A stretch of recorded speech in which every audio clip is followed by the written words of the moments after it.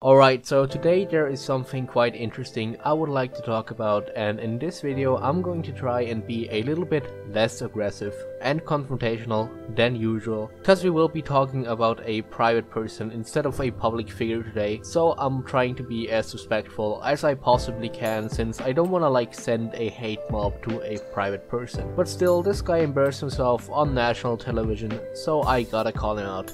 But you know, just try and not be rude to this guy if you happen to like come across him on Twitter or something. Also, before we really start, I did get new braces in yesterday so my apologies if I sound a little bit weird today. I hope it's not too bad though. Anyway, so today's story starts at Raging Rivers Water Park in Grafton, Illinois, where this guy now claims that his overweight daughter experienced severe trauma during their visit to the water park. So now you might be thinking what kind of situation caused this guy's daughter to be traumatized? Could she have maybe witnessed a poolside accident of some sort? Or did she get hurt in an accident herself? Or it could even be something as dark as like an assault occurring on water park grounds. So what really happened to her? Well, the disappointing answer is the trauma was caused by her not being able to get on the slide because she was too heavy. What? Bro, what are you talking about, man? So the story here is as follows. This guy went to the top of the slide with his daughter and wife and then a water park worker asked the daughter to first weigh herself before entering the slide and then this happened. She steps on the scale and she's 205. The ride has a 200 pound weight limit. To have a company be responsible for such a massive mental impact on my daughter is it's tough. Again, I'm really trying to be respectful today, but this is not some sort of massive mental impact. If this is a quote unquote massive mental impact to you and your family, then your life is just too easy. I'm sorry, but it just is. I'll tell you what a massive mental impact is. Last fall, one of my friends ended her life. To me, that had a dramatic impact on my mental health. Like, I personally was devastated for weeks and I'm not entirely over it yet and still feel somewhat somewhat guilty. So to have someone sit here and say that not being able to get on a water park slide devastated their mental health, well that does infuriate me quite a bit. But again, I really am trying to be a good guy today. So I'm just gonna provide a rational argument here. There is a real reason why things like amusement park rides or elevators for instance have weight limits. Because the whole structure was only built to support people up to a certain weight. And if that limit got exceeded, there could potentially be damages to the slide or even the whole structure might collapse or at the very least not properly function. Or also you could get stuck in one of the slides if you're too heavy and too big. So there's a good reason we have weight limits because you know sometimes slides can't be built so that everyone can go on them. That's just a architectural fact that we have to accept which is also why I believe that the water park worker in this case did the right thing by not allowing her onto the slide because letting her go would have been completely irresponsible in my mind. Not being able to ride the brand new ride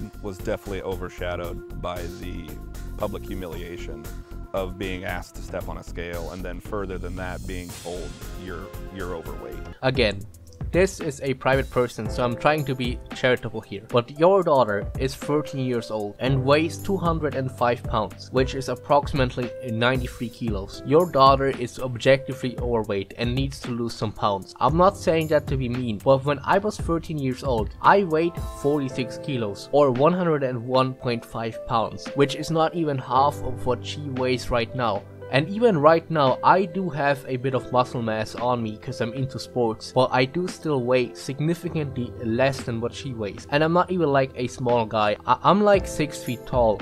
So there's no denying that your daughter is objectively obese. For instance, if we take your daughter's weight and the average height of a 13 year old girl in the United States and put that data into the body mass index, you get 38, which is categorized as extremely obese. Like if I am not mistaken, this is at the upper end of category 2 obese. Now I do have some issues with the BMI measurement system for various reasons, but with very strong overweight and underweight people, it typically is rather accurate. So your daughter needs to change and she needs to change quickly. Because look, I really don't care all that much if you as an adult are fat. I really don't, within reason of course. But if you're just like a bit obese, without it really negatively affecting your physical health, I'm not gonna like fat shame you or whatever. But if you as a parent allow your child to become morbidly obese, you are in my opinion irresponsible and might be at fault for your child getting stuck in a circle of obesity when they are adults or even for getting their health partially destroyed because of their obesity in their childhood. Now the problem here is that this guy lets his daughter be obese. But then he also complains about her daughter getting called overweight on national television. Now firstly your daughter is only gonna get called obese and overweight more often now that you went on national television. So you really are short-sighted for that. But also